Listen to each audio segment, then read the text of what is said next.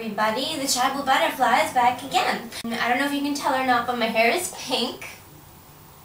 Uh, now, don't get too attached to this color because the pink is so light that it probably won't last another wash. So, you guys won't be seeing this one again. Sorry.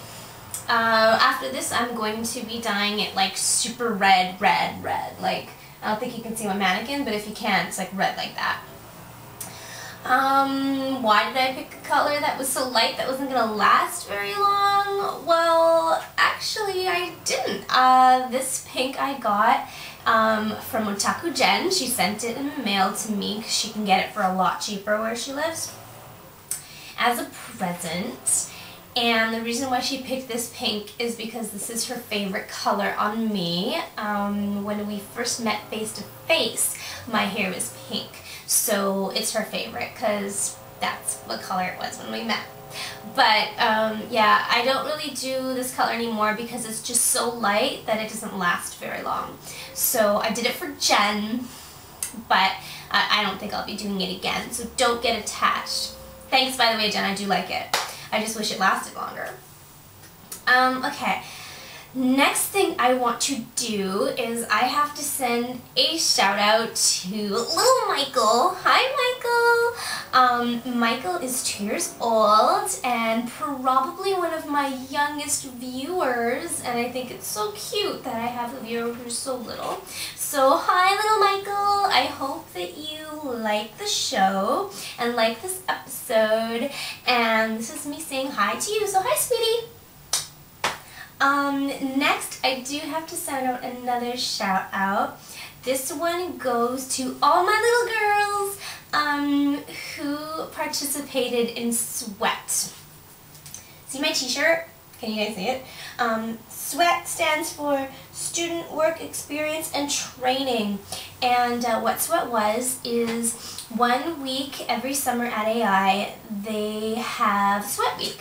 And what happens is um, about 100 grade 11 and 12 students who are interested in fashion can come to AI and for the week we teach them about fashion.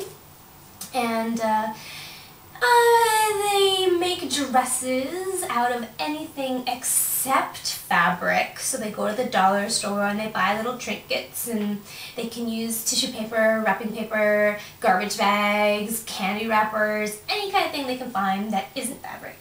And they make a dress. And then those dresses do like a little project runway where we pick winners. And uh, I got asked to be a student teacher for Sweat Week this year. And so I loved it. I participated and I had an amazing time, a way better time than I thought I was going to have. And I totally loved every little girl who came to my class. And I was actually really lucky. I was the only person who got to participate in every class. I, I moved from class to class to class and I, I was a student teacher for everybody pretty much.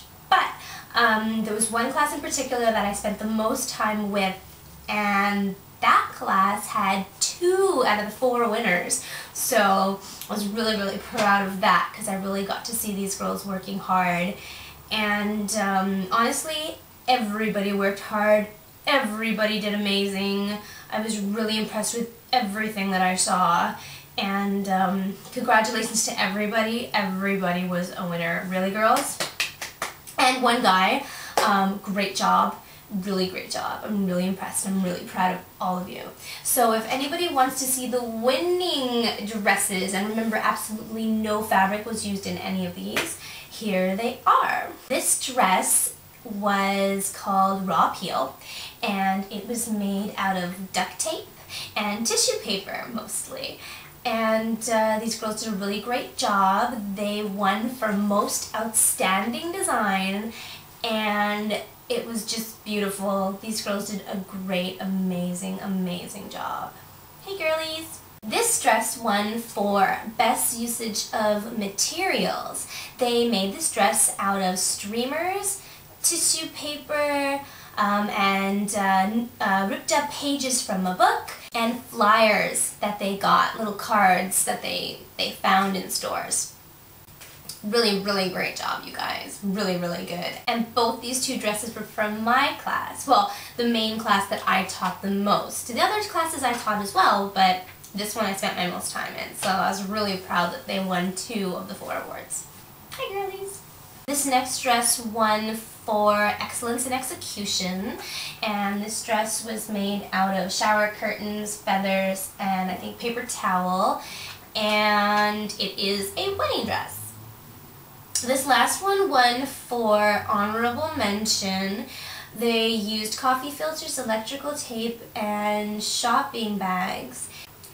Other dresses that I personally felt should have also gotten honorable mention were these two. This one is the tulip dress. I really liked this dress. It's so cute and you can totally see me wearing it. This is totally something I would want in my wardrobe. If it wasn't tissue paper, I'd probably wear it every day. This next dress was called Sid and Marie and it was inspired by the Sex Pistols and Marie Antoinette and I really loved this dress. It was really, really beautiful and they actually even used real lettuce to make that green ruffly trim. Really innovative, you guys. You did an amazing, smashing, wonderful, beautiful job. Really, really great. This other dress as well, I think, personally, should have got honorable mention. I saw these girls, they worked so hard on this dress.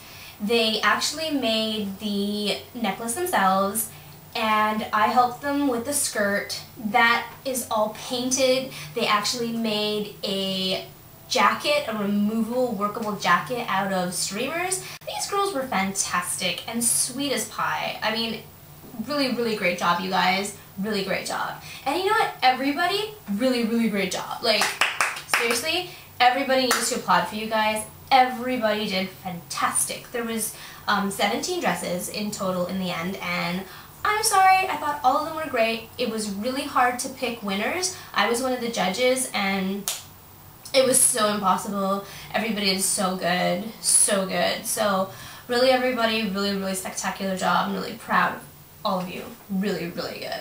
So yeah, Sweat Week was really fun, and I'm really glad I participated in it, and I got to be a teacher's assistant, which was really, really cool, fun, amazing stuff. I had such a great time. Such a great time. Really, really amazing. I wish I could do it again. I hope to do it again. And if anybody else hears about it, please participate because it was a really great experience and you have a lot of fun.